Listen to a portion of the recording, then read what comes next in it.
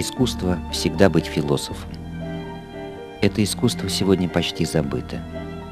Мы выросли в суматохе и суете постоянных изменений, вечного движения, которому нас побуждает то скука, то фантазия.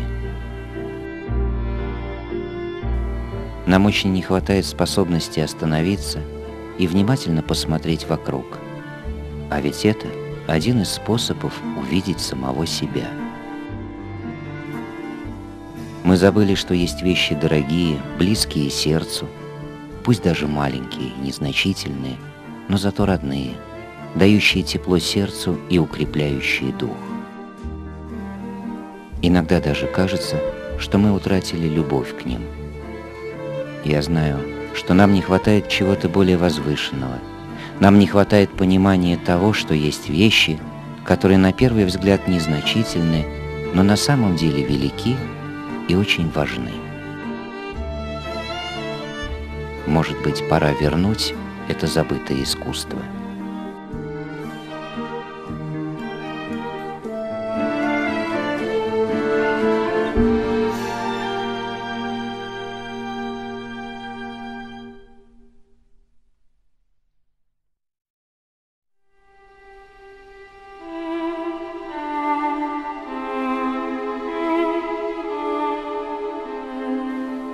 Очень давно я жил несколько месяцев на острове Майорка, куда приехал, чтобы писать свою новую книгу и вновь испытать очарование древней магии моря.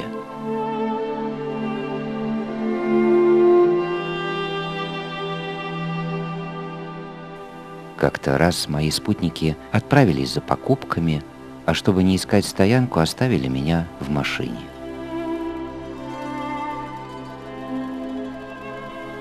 Вечерело, Передо мной по главной улице двигался нескончаемый поток туристов. Небольшой рыбацкий городок летом превращается в центр отдыха.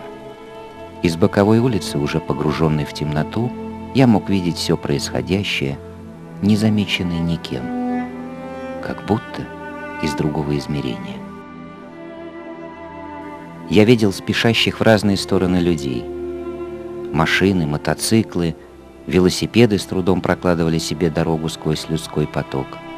Я видел парочки влюбленных, полностью поглощенных друг другом, и стариков, которых роднила неторопливость и отчасти общие воспоминания. Какие-то дети бегали увлеченные своими играми, которые для взрослых остаются загадкой. Мне подумалось, что если бы вдруг все узнали, что истина находится там-то и там-то, ее можно увидеть собственными глазами, то все ринулись бы к ней.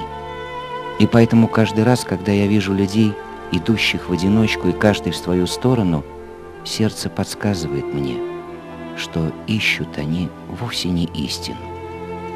Каждый пытается приблизиться к своей собственной истине, отражающей, как правило, его желания, стремления – да и вообще все, что угодно.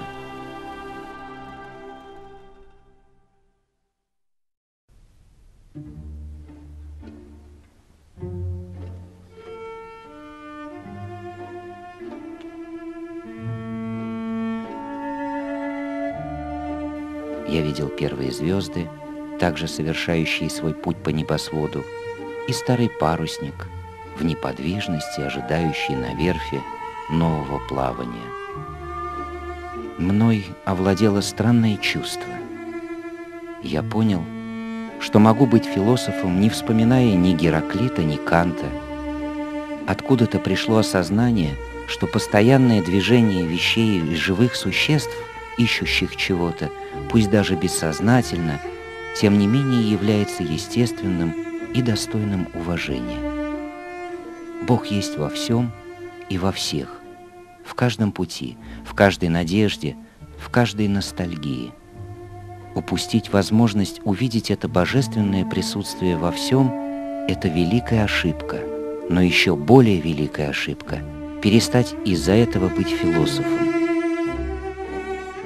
Ибо именно понимание этой истины привело меня к тем маленьким откровениям души, о которых я вам рассказываю, и ко многим другим осознаниям о которых храню молчание не находя слов, чтобы выразить невыразимое. Вдруг я почувствовал, что со всеми людьми меня связывают какие-то загадочные узы. Вспоминая о том, что писал великий поэт Амада Нерва, я ощутил, что каким-то таинственным способом все люди стали моими братьями.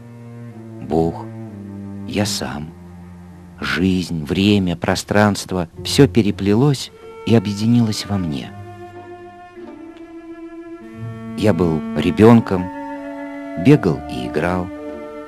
Я был влюбленным и шел, не замечая никого, кроме своей любви. Я был стариком и брел, с трудом передвигая ноги по улицам, где проходил тысячи раз.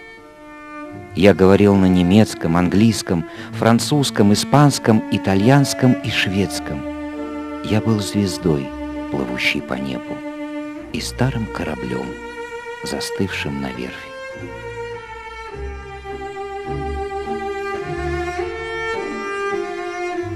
Эти несколько минут я жил великой истиной, непоколебимой уверенностью, покоем и волнением одновременно.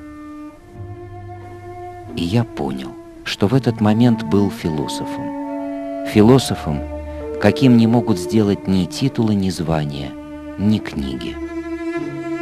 И если многие из вас еще не понимают, о чем я говорю здесь, пусть это их не тревожит я тоже до конца не понимаю. Я просто делюсь с вами небольшим откровением души, внутренним, тонким, но интуиция подсказывает мне, что оно чрезвычайно важно. Не приоткрылась ли в этот момент грань забытого искусства, великого искусства, быть философом всегда и везде? Я искренне верю, что это так – Попробуйте как-нибудь, и вы не пожалеете.